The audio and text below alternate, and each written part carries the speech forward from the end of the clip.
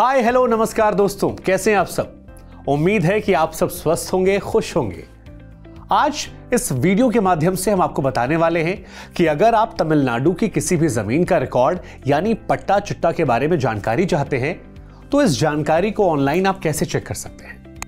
आप सबको यह मालूम होगा कि डिजिटल इंडिया प्रोग्राम के तहत सभी राज्य अपने लैंड रिकॉर्ड्स को अब डिजिटल कर रहे हैं।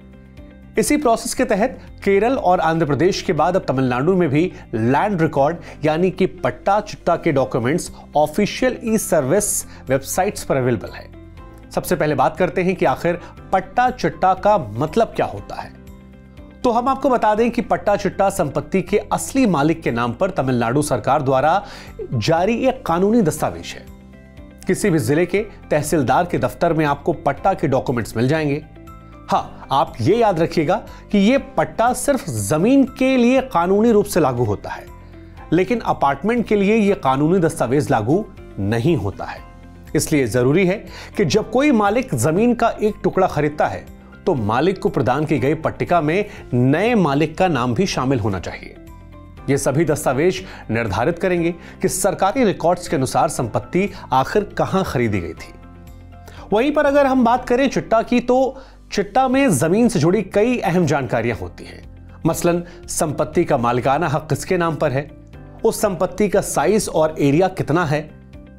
हम आपको यह भी बता दें कि साल 2015 में इन दोनों डॉक्यूमेंट्स को मर्ज करके एक डॉक्यूमेंट बना दिया गया और इसे ही हम पट्टा चिट्टा कहते हैं। अच्छी बात यह है कि आप पट्टा चिट्टा सर्टिफिकेट को अब ऑनलाइन भी देख सकते हैं। लेकिन आपके जहन में सवाल आ रहा होगा कि आखिर पट्टा की ज़रूरत है क्या? तो दरअसल पट्टा तमिलनाडु सरकार द्वारा बनाया गया एक कानूनी दस्तावेज़ है और इससे यह साबित होता है कि उस संपत्ति का असली मालिक कौन है। इसलिए किसी भी संपत्ति को बेचने के लिए यह डॉक्यूमेंट का होना बेहद ज़रूरी है।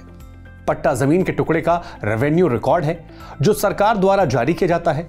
इसे रिकॉर्ड ऑफ़ राइट्स, यानी कि आरओआर के तौर पर भी जानते हैं। इस डॉक्यूमेंट में पट्टे का नंबर, उस ज़िले का नाम तालुक गाँव का नाम, साथ ही साथ मालिक का नाम, सर्वे नंबर और sub division wetland dry land और लैंड एरिया की डिटेल्स और इसके साथ टैक्स की डिटेल्स भी शामिल होती है। इस लैंड रेवेन्यू डॉक्यूमेंट में प्रॉपर्टी के एरिया उसका साइज़ और ओनरशिप से जुड़ी तमाम जानकारियों का पूरी तरह से विवरण किया जाता है। संपत्ति से जुड़ी इस जानकारी को रखने और ड्राई और वेटलैंड के बारे में विवरण देने की ज़िम्मेदारी ग्राम प्रशासन अधिकारी की होती है। हम आपको बता दें कि तमिलनाडु में 32 में से 27 जिलों के लिए लैंड रिकॉर्ड्स अवेलेबल है। अब देखिए, टेक्नोलॉजी का जमाना है तो आप पट्टा चुट्टा को मोबाइल ऐप के ज़रिए भी एक्सेस कर सकते हैं। इसके लिए आपको ज़्यादा कुछ नहीं करना।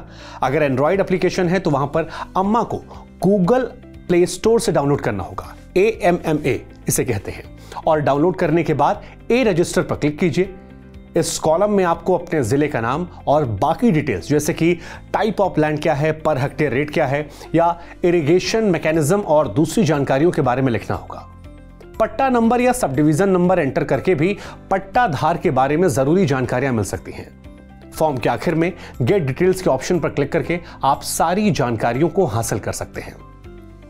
अब एक सवाल यहाँ पर आता है कि क्या इसी पट्टा चिट्टा ऑनलाइन भी मिल जाएगा? तो इसका भी जवाब है हाँ। आप तमिलनाडु पट्टा चिट्टा वेबसाइट पर जाकर पट्टा चिट्टा के लिए आवेदन कर सकते हैं और यह सबसे अच्छी बात है कि पूरी तरह से मुफ़्त है।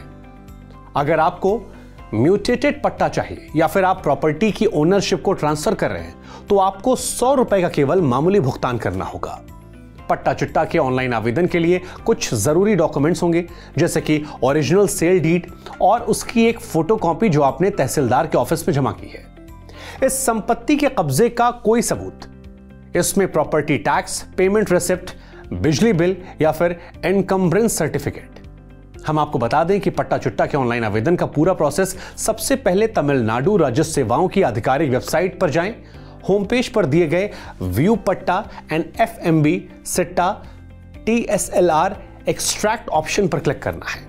उस ज़िले और उस क्षेत्र को सेलेक्ट करें जहाँ की प्रॉपर्टी है और उसके बाद आप उसे सबमिट कर दें आपके द्वारा सारी जानकारी जमा करने के बाद आपको टाउन सर्वे लैंड रजिस्ट्रार की तरफ़ से एक ऑनलाइन पट्टा चिट्टा सर्टिफिकेट मिलेगा, जिसमें आपकी प्रॉपर्टी के बारे में पूरा ब्यौरा दिया जाएगा।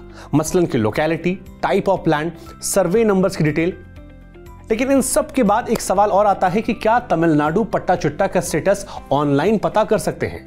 तो उसका भी जवाब है हाँ, आपको अपनी एप्लीकेशन आईडी का इस्तेमाल करके इससे ऑनलाइन भी ट्रैक कर सकते हैं। वैसे सिर्फ़ इतना ही नहीं, तमिलनाडु पट्टा चुट्टा को वेरीफाई भी कर सकते हैं। पट्टा चुट्टा की ऑनलाइन वेरिफिकेशन के लिए लॉगिन करने के बाद वेरीफाई पट्टा के ऑप्शन को चुनिए और इसके बाद रेफरेंस नंबर को भरकर आप सबमिट कर दीजिए। कुछ लोग यह भी जानना चाहते होंगे कि क्या पट्टा चिट्टा को ट्रांसफ़र किया जा सकता है। तो हमने शुरुआत में भी कहा था कि जी हाँ, बिल्कुल, सौ रुपए की मामूली कीमत पर पट्टा चिट्टा को आप ट्रांसफ़र कर सकते हैं। इसके लिए आपको तहसीलदार के दफ्तर में जाना होगा, अपनी एप्लीकेशन देनी होगी और पट्टा चुट्टा के ट्रांसफ़र के लिए आवेदन देते वक्त आप सील डीड के ओरिजिनल डॉक्यूमेंट्स, टैक्स की रसीद, बिजली बिल इनकम्बरेंस सर्टिफिकेट की फोटोकॉपी ले जाना बिल्कुल मत भूलिएगा। लेकिन हाँ यह याद रखिएगा कि अगर आपको पट्टा पर अपना नाम बदलना है तो इसके लिए आपको गाँव के ग्राम प्रशासन अधिकारी के दफ्तर जाना पड़ेगा। अब एक अहम सवाल यह आता है कि क्या फ्लैट खरीदते और बेचते वक्त पट्टा चिट्टा की ज़रूरत होती है? तो जैसा कि हमने आपको बताया कि पट्टा चिट्टा एक कानूनी दस्तावेज़ है, जो भूमि से संबंधित लेन देन में आवश्यक है। हाउसिंग प्रोजेक्ट का निर्माण करते हुए बिल्डर्स को इसकी आवश्यकता होती है। हालाँकि इंडिविजुअल बायर्स को पट्टा चिट्टा डॉक्यूमेंट उपलब्ध नहीं कराए जाते हैं। शायद आप में से कुछ लोग यह भी जानना चाहते होंगे कि आप पट्टा चिट्टा के बारे में ऑनलाइन और क्या देख सकते हैं। तो हम आपको बता दें कि आप पूरम बोक लैंड का स्टेटस चेक कर सकते हैं, जो कि बंजर भूमि या वो भूमि जो सरकार की है और रेवेन्यू रिकॉर्ड में नहीं आती है। इतना ही नहीं, आप ये भी जाँच कर सकते हैं कि क्या आप विभिन्न आर्थिक विकास योजनाओं के लिए एलिजिबल हैं या फिर नहीं हैं। जाते जाते हम आपको सचेत कर दें कि आप नकली पट्टा चिट्टा से सावधान रहिएगा। अगर आपसे कोई भी नकली पट्टा चिट्टा देने वालों को चंगुल में फंसा है तो स्पेसिफिक रिलीफ एक्ट 1963 के सेक्शन 34 के अंतर्गत डिक्लेरेटिव पिटीशन फ़ाइल कर सकते हैं। तो जाते जाते सिर्फ़ इतना कहेंगे कि सावधानी बरतिए नकली पट्टा चुट्टा वालों सावधान रहिए और हम उम्मीद करते हैं कि इस एपिसोड में आपको पट्टा चुट्टा के बारे में सभी ज़रूरी जानकारियाँ मिल गई होंगी। आज के लिए इतना ही। इजाज़त दीजिए। नमस्कार। For more such video subscribe to housing dot com's YouTube channel and hit the bell icon.